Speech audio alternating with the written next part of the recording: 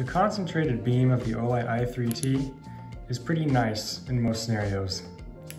But do you ever wish you could use this as a little mini lantern or an area light?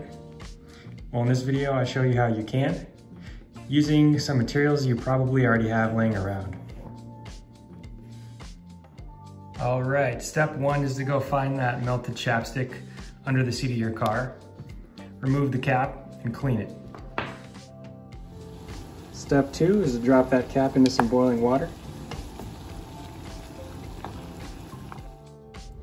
All right, step three, fish the cap out of the water. You don't even need to leave it in long, maybe 30 seconds. And um, this plastic will be a little bit softer and more pliable to be able to kind of fit it over the bezel of your light. Just kind of tuck it on. Um, you don't have to go super far down if you don't want to. Um, and then just let it hang out for maybe 30 seconds. Doesn't take long at all. Um, this plastic will begin to kind of memorize the form uh, and make it easier for you to get this thing on and off. But it stays, it's nice and snug on there. Like it won't fall off on accident. Um, and yeah, that's it. You've got a Poor Man's DIY diffuser for your i3T. Pretty sweet. Little mini lantern, if you will. I'll show you what this looks like outside in the dark. And um, if you're curious why my i3T looks like this, I put some uh, paint in the uh, knurling. And um, in another video, I have, I can, I, sh I, show the process and how this can be done. It's not permanent, um, so if you want to undo it, it's easy to undo too. So yeah, if you're interested in that, check it out. But yeah, let's get this thing outside, see how the light looks as a little mini lantern. All right, here in the backyard to test drive our little DIY diffuser. So let's start with the low mode first. On low.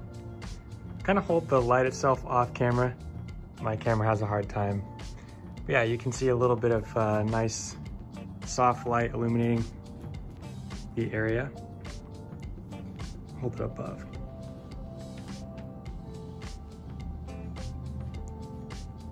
And then turbo mode.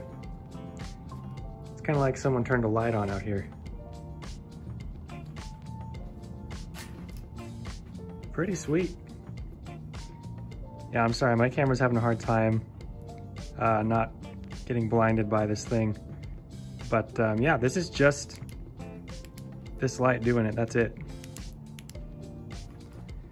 So yeah, if you need a little mini lantern, grab your chapstick cap and you're good to go. So now that we've made this, let's talk about why you might want something like this around. Um, basically, the normal light on an i3T is really good just to search for things um, at a little bit of distance. And this just allows you to get a nice even light um, over a broader area, almost like turning your cell phone light on.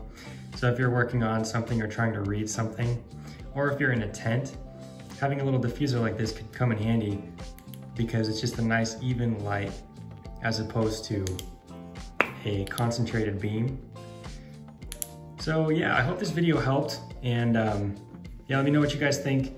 Uh, is this a good idea? Do you have other ideas that could be um, used for this or anything that could work better?